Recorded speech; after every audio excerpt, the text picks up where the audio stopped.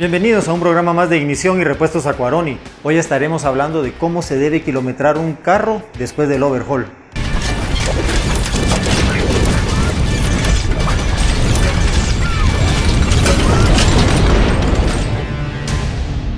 Esta es una duda que nos han planteado de distintas formas, pero recordemos, lo primero en un overhaul es seguir las especificaciones del fabricante.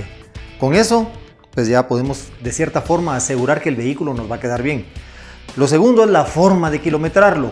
Recordemos que los motores se calientan, se enfrían, se calientan, se enfrían y en todo eso, en todo ese proceso, los motores se dilatan y se contraen, se dilatan y se contraen. Cuando se calientan se dilatan y cuando se enfrían se contraen. Esto, por decirlo de alguna forma, es algo que el motor debe aprender a hacer. Entonces, ¿qué hacemos nosotros? Reparamos el motor, lo verjoleamos, lo instalamos, lo encendemos en el taller, chequeamos que no hayan fugas de aceite, que no hayan fugas de refrigerante, de combustible, todo eso está bien, lo dejamos andando y veamos que encienda el ventilador. Que el ventilador encienda por lo menos dos veces. Ya con esto nos aseguramos que también el ventilador está funcionando. ¿Qué hacemos? Lo llevamos a la calle, lo manejamos de una forma normal, una conducción normal como la que hacemos todos los días. ¿Por qué? Porque como les repito, el motor tiene que aprender a dilatar y a contraer.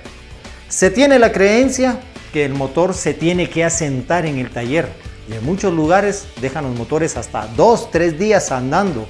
Ahí llegan temprano, encienden el carro y ahí dejan el carro encendido. El motor encendido todo el día. En la tarde cuando ya se van, apagan el motor y se queda.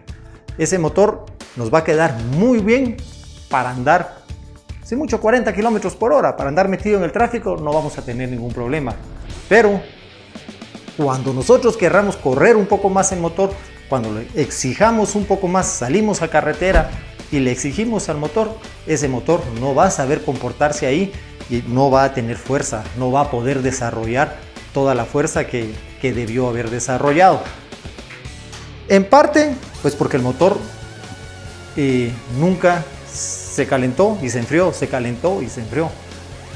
Y por otro lado, incluso hay personas que cuando lo dejan en el taller y para estar tranquilos de que el carro no se va a sobrecalentar en ese proceso que lo tienen ahí andando, no le ponen termostato. Entonces el carro siempre va a andar frío.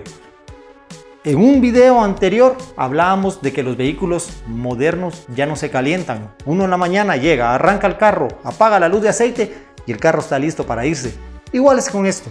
Resumiendo, arrancamos el carro, vemos que en el motor no hayan fugas, que enciende el ventilador y llevamos ese carro a la calle a darle un uso normal como el que generalmente hacemos en la calle, cómo lo manejamos o cómo lo va a manejar en este caso el propietario del vehículo y ya se lo podemos entregar. No hace falta que se quede en el taller dos, tres días y menos aún sin termostato. Hay que ponerle el termostato desde un principio al vehículo para que el motor llegue a su temperatura normal de funcionamiento y así pueda desarrollar toda la fuerza que fue diseñada. Bien amigos, gracias por acompañarnos en un programa más. Como siempre, no olviden visitar nuestra página web o nuestra página de Facebook, suscribirse a nuestro canal de YouTube, darle clic a la campanita para que sepan cuando subimos un nuevo video. Esto fue Ignición.